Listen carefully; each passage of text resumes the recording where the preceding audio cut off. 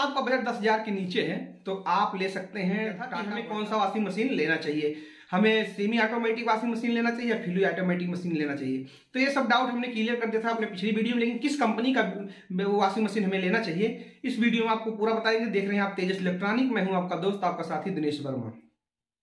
तो दोस्तों अगर आपका बजट दस हज़ार के नीचे है तो आप ले सकते हैं टाटा वोल्टास का बीको बीको एक मॉडल है, उसको आप ले सकते हैं। काफ़ी सस्ती वॉशिंग मशीन है। बता दें, ये वॉशिंग मशीन आठ हज़ार के आसपास इसमें चार पाँच सौ, ऊपर चार पाँच सौ नीचे ये प्लस माइनस रहते हैं। हर मार्केट का अलग अलग रेट रहता है और रेट हो सकता है जब वीडियो आप देखें तो उसका ऊपर नीचे हो गया हो। लेकिन आठ हज़ार के आसपास आपको टाटा का बीको मॉडल मिल जाएगा।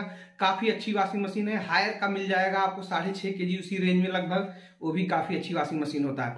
वॉशिंग मशीन जितने भी आते हैं, सभी पाँच साल की वारंटी के साथ आते हैं। मोटर की पाँच साल वारंटी पूरे प्रोडक्ट की एक साल की वारंटी होती है।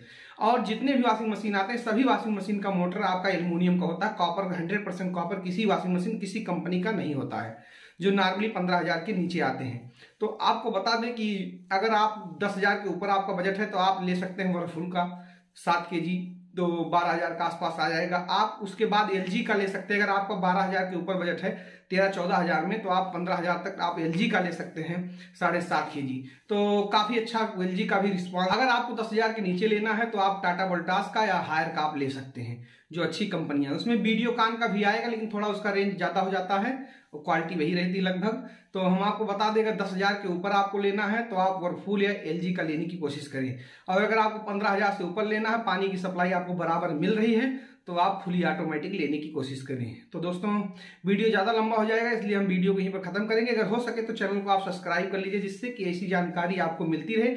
और हम समझ सकते हैं कि हो सकता है आपका डाउट क्लियर हो गया होगा। अगर नहीं क्लियर हुआ है तो आप डिस्क्रिप्शन में हमारा नंबर, वहाँ से आप क्लियर कर सकते हैं। और नहीं फ़ोन करना चाहें, व्हाट्सएप कर सकते हैं, नहीं करना चाहें, आप कमेंट बॉक्स में पूछ ही सकते हैं।